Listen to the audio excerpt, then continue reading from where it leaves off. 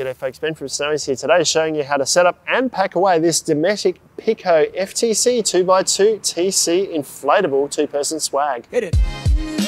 This swag you can set up the frame and the mattress with the same pump. It's got easy to use integrated guy ropes and a weather protected awning over the doorway. Before we dive into this product, there is loads more content like this on our YouTube channel, so make sure you like and subscribe and you'll get notified of all of our latest content. Now let's jump in. So we've come out here on a sunny day. We're at the park at the end of the street of the Adelaide store here at the moment. A bit of traffic noise in the background, but I'm gonna set up the Dometic Pico FTC 2x2 TC swag here, a bit of a complicated name. This is how it looks when you get it. So this is as new. It's around about 70 centimeters in length and about 30 centimeters uh, square on the ends once it's rolled up. This is as new, so once you unpack it and re-roll it, it's a little bit bigger, but there's plenty of space inside the bag, and it weighs around about 11 kilos. Comes in this uh, synthetic bag here, which does have some backpack straps on here, so you can actually carry it uh, easily to and from your campsite if you like, or just use them as a, as a carry handle on top like that. We'll start by showing you what comes in the bag.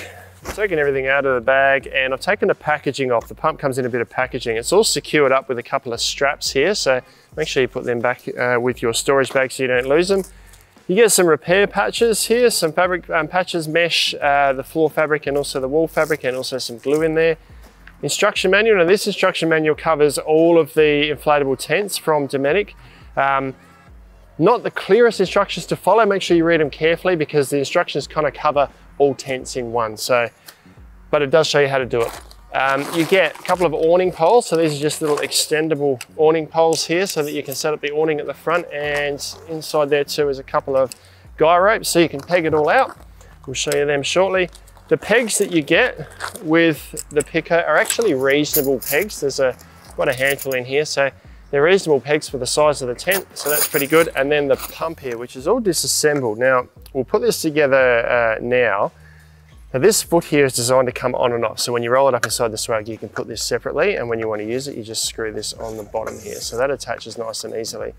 Stand it upright and then we grab the handle here on top. Now this shaft here has got a thread on the top there and there's a thread in here. So we screw this on so that the dial faces upwards just tighten that up just firmly. It's just an alloy shaft and then a plastic top, so you don't want to over tighten it, but just firmly.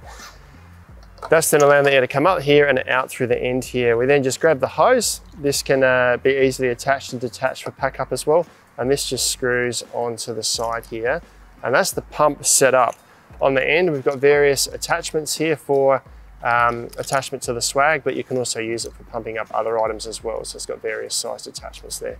So we'll put that aside because we need that in a minute. But the first thing we need to do is spread this section out. Now this is the tent uh, floor, the inner and also the mat all contained in one here and the frame, the air frame, uh, air poles, sorry, are all contained within here as well. So this doesn't come apart, it's all set up as one. So we want to spread this out and place the pegs in the corners.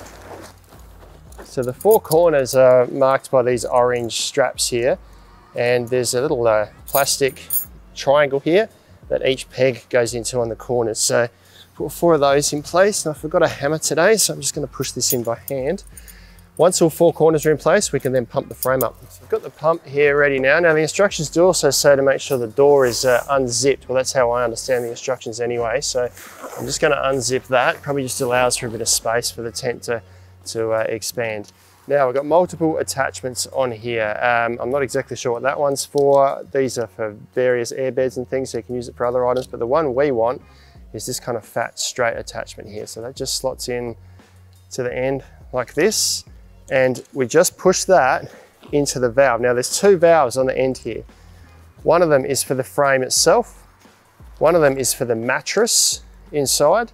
So we want to pump up the mattress second, frame first. So there's two parts to the, the valve here. There's this main part here that we you remove when you're deflating it. This has got a little one-way valve on the inside. We want to screw that in firmly and leave it in place. That's going to allow air to go in and not come out. And it also gives us a, nice, neat, a nice neat seating for the pump to push into there. So that's now sitting in there. We can now start pumping. Now the pump just, um, it, it doesn't pump on the up pull, just on the down pull. So we keep pushing down and pumping And if we have a look at the dial on top here, we've got a green zone here. So between seven and nine PSI is what they recommend for pumping this tent up here. So when this dial comes into the green zone here, we know we pumped it up enough, we can take the, the pump off of the, the valve and close it up. The frame itself has been tested to well in excess of what this can actually pump it to, so there's no risk of overinflation, but as long as you stick within the green zone, you'll be fine. But it actually feels like it's got a valve in there that's releasing air, but the dial itself doesn't stay up, so you just got to watch it. It goes in the green zone and then goes straight back down again afterwards. So that's in the green zone there now. So I can stop pumping. I can pull this out. You may find as you pump this up, if the frame isn't popping up by itself, it just needs a little bit of a, a gentle um, hand just to stand up by itself. So you can see we've taken the pump off of here, but because of the little one-way valve in there, uh, it's not letting any air out, but we can just close this cap on there just to keep the air nice and secure. That is the tent mostly set up. We'll do the mat while we're here. Now the mat valve is on the end here, but before we pump that up, we just need to cast our eyes inside here and make sure that the mat isn't twisted. So same deal here to pump up the mat inside. We've got the little valve here that will screw in place and then the pump goes inside here and you'll notice there's warnings all over this to say maximum 2 PSI. So the mat inside doesn't go up to 9 PSI. We've just got to watch the dial on here and when this reaches up to the 2, the mat's plenty tight enough. Because this valve moves up and down, it's a bit hard to tell exactly where it's at. So maybe just do one slow pump I can see that's at around about two or just over at the moment. So I'm gonna stop pumping that now. Pull the pump out from the valve here, put the cap on, and then we can also just secure this closed a little better. There's little studs on the side here just to protect the valve. A little bit awkward to do up, but that just protects the valve there from being knocked, I suppose, or from the weather dust. And you can do the same thing on the main valve here. We can now go ahead, so the tent's nice and um, secure at the moment, we can now go ahead and put some guy ropes in place for the awnings over the ends here. Now, all of these guy ropes are, are built in um, and they're attached to two points. So they come down this way and then back towards the tent here and you can adjust them at the top here. So I suggest you put them out at about a 45 degree angle, tight across the bottom here for starters, put a peg in place and then you can tighten up the top afterwards. So you just pull this strap here and it's gonna pull that awning out to give us a weather protected zone here. Got four of those to put in, two at the other end, one more here, and that's the tent, apart from the awning, pretty much set up. Once you've tightened up the guy ropes on the side, it'll pull the tent out so there's no sag in the middle here. Just uh, double check to make sure that it's not too tight across this doorway here. So I'll just do this up. That's actually pretty good there. So I've tightened them up pretty firmly. And there's still a bit of play in the door here, so there's not, not strain on this fabric here. Now we could set up with just this uh, zipped closed or rolled up if we like. There are tabs up here to roll this up and out the way. But there are eyelets in the corners here that we can use the included uh, awning poles here to set it up as a little awning at the front. And we've got these included guy ropes here too that have little plastic triangle, once again, that goes over the top of the awning pole like this and then we can peg this out down to the ground so we've got a weather protected entrance to the swag.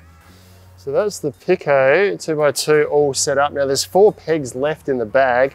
There's a couple of peg points on the bottom, halfway through on each side here. So you've got a few extra pegs. If you lose one, you've got a spare one as well. But that's the whole tent set up with, that's eight, that was 10 pegs altogether. Really easy to set up all by myself. And your mattress is already inside there. So all you've got to do is throw your bedding in and set yourself up for a comfortable night of sleep. That is the setup complete. Now I reckon pack away this swag's even easier than setup because you don't have to worry about the pump, you just take the valve out. So what I'm gonna do is take all the pegs out. Um, I'll leave the four pegs in the corners for now till we flatten the frame down and then we can let the, let the air out and roll it up. So I've taken the guides out. I've left these in the corners here just in case wind picks up, it keeps it secure to the ground. But what we need to do now to let the tent down is come to the valve here. She'll undo the, the mat first. So we've got the, the screw on the end there, that's just where we inflated it. But what we want to do is unscrew the whole thing from here when we go to pack it away. And that then just lets all the air straight out from the mat there. That's the mat deflated. Same thing with the frame here uh, one inflation port, we undo the main ring around the bottom there. So this is going to let all the air out of the frame and it's going to collapse down pretty much straight away. So the tent's flat on the ground now. I'm gonna leave the pegs in for a moment while I just kind of straighten the, the fabric out on the top here. I'm gonna leave the door here undone so that I don't get ballooning of the fabric as I roll it up. Once I've kind of got this flattened out, I'm gonna roll it from that end towards the valve so the air squeezes out through the valves here. Got my bag ready. I've grabbed all the stuff I need to roll it up and I'm gonna try and roll the pump up inside the, um, the swag as well. So I kind of spread this out so it's about the same length as these awning poles here, which is a bit less than a third. And I'll put the pump inside here as well. Just be wary. Probably best actually to take the hose off the pump as you roll it up. Maybe stick it at the side. Probably actually even easier just to leave the pump separately, I reckon, because it's gonna make rolling this up awkward. So that can sit separately in the bag. And I'm just gonna start rolling this up from this side here, bearing in mind that as I go, I'm actually squeezing the air out of the uh, valves at that end of the tent. We've got our straps inside the bag here that we can use to secure this so it doesn't unroll. And all of this will fit easily back inside the storage bag. So that fits in that bag really easily. I think even if you rolled that pump up inside the swag there, it might actually protect it a little bit more because that's sitting loose in there at the moment. So if you're gonna strap that down somewhere, maybe put the pump inside the, the swag when you roll it up A couple of compression straps on top here just to keep it all secure. And that is how to set up and pack away the Dometic Pico FTC 2x2 TC inflatable swag. This is kind of revolutionizing that swag experience because people can now get that a, a swag that's going to fit inside a small vehicle. You don't have that massive sort of chunky, cumbersome thing to pack on a roof rack. It's now compact, fits in the boot of a car. You can check these out online at snowys.com.au where you find them at our lowest prices every day.